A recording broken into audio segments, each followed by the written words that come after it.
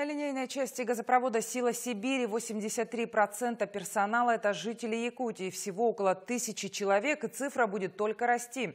Специалистов высокого разряда готовят по целевой программе на базе Томского политехнического университета. Как устроиться на престижную работу в «Газпром Трансгастомск» узнал Дмитрий Макаров. Студенты из Якутии моделируют то, как воздействуют силы мороза на участок газопровода «Сила Сибири».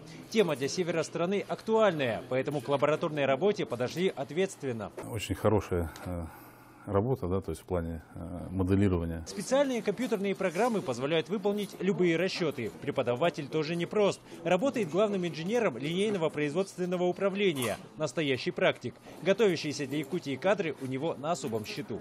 В этом году в июне у нас был выпуск, да, то есть где у нас э, участвовали целевые студенты, да, то есть в том числе с Якутии, да, то есть ну, они показали э, отличные результаты, то есть все защитили свои работы с оценкой отлично. Якутян в Томском политехническом университете обучают еще с советских времен, но в последние годы количество студентов заметно увеличилось. Ну, довольно-таки перспективно, потому что наш регион, он, как бы сказать, держится на газе. У нас, получается, есть ГРЭС, гидроэлектростанции, которая работает от газа. То есть, если не будет у нас в республике газа, грубо говоря, у нас отключится свет и уйдет тепло. То есть, ну, поэтому, наверное, я и выбрал нефтегазовое дело, именно вот газовую отрасль. Владислава Протодьяконова судьба привела в «Газпром Трансгаз Томск». Работа мечты станет возможной благодаря реализации восточной газовой программы. Для «Силы Сибири» потребовались сотни специалистов. Их стали готовить по целевым направлениям. Для этого предприятие ежегодно проводит конкурсные отборы. Сотрудники кадровой службы ежегодно э, выезжают в Северо-Восточный федеральный университет и встречаются с ребятами, э, которые проходят обучение по направлению нефтегазовое дело.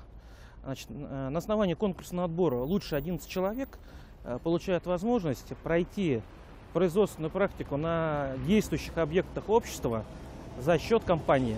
То есть молодой человек не тратит ни рубля личных средств, Получив степень бакалавра в СВФУ по направлению нефтегазовое дело, целевики становятся магистрами, но уже в Томске. И тоже за счет будущего работодателя. Учиться здесь престижно. В этом году нефтегазовое дело Томского политеха заняло первое место среди российских вузов в предметом рейтинге КУЭС. Критериями отбора по этому рейтингу является первое – это мнение работодателей, мнение выпускников, наличие материально-технической базы и множество-множество критерий, которые очень важны. Так вот, по всем этим критериям победил именно наш вуз, занял первое место по России и 26 место в мире. Город Томск в народе называют сибирскими Афинами. Такое имя ему дали еще в 19 веке за большое образовательное значение для страны. Студенческая молодежь стремится сюда и сегодня. Томск по праву называют студенческой столицей Сибири. Здесь работают сразу 9 высших учебных заведений и несколько филиалов вузов других городов, в которых учится каждый пятый житель города. Сегодня на объектах Силы Сибири в «Газпром Трансгастомске» работают 1124 человека. 83% из них – жители Республики Саха-Якутия. Их количество может пополнить выпускник школы любого, даже труднодоступного села. Ведь целевая программа дает всем детям равные возможности. Ну, я всегда мечтал о том, что и в моем родном селе поступит газ. И для достижения этой цели нужны профессионалы, специалисты своего дела. И я хочу стать таким человеком, при помощи которого а, и даже в мой поселок, такой отдаленный поселок, поступил газ.